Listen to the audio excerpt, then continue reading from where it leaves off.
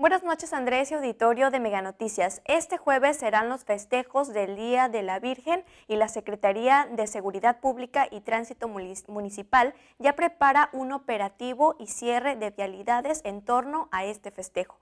Les cuento los detalles.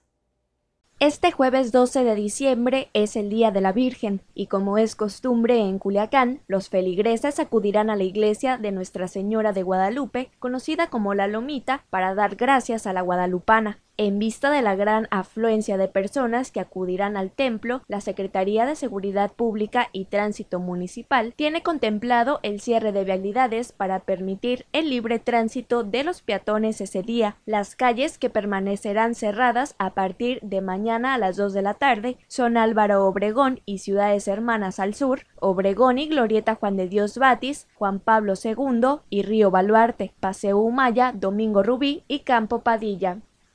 Eso sería a partir de, las 2 de la tarde y hasta el día miércoles, el día jueves, perdón, que es Día de la Virgen, vamos a, continuar con esos cierres hasta que se libere el tráfico vehicular, que estamos hablando ya del día 13 de este, de este mes, ¿no?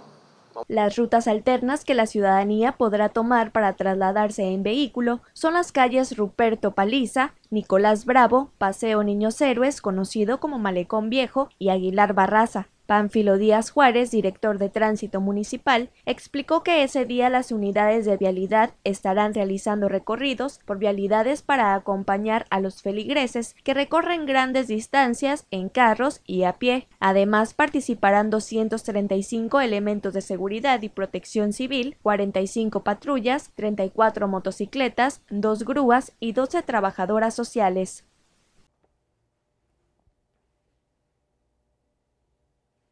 Bueno, Andrés, ahí tienen este, el nombre de estas vialidades que serán cerradas a los automóviles, pero también estarán abiertas otras por las cuales anteriormente ya se comentaba se sugiere a los ciudadanos transitar, además de que una de las recomendaciones puntuales que realiza Tránsito Municipal es que los ciudadanos no estacionen mal sus vehículos sobre el Boulevard Ciudades Hermanas o estos serán llevados al corralón. Esa es toda la información. Regreso al estudio.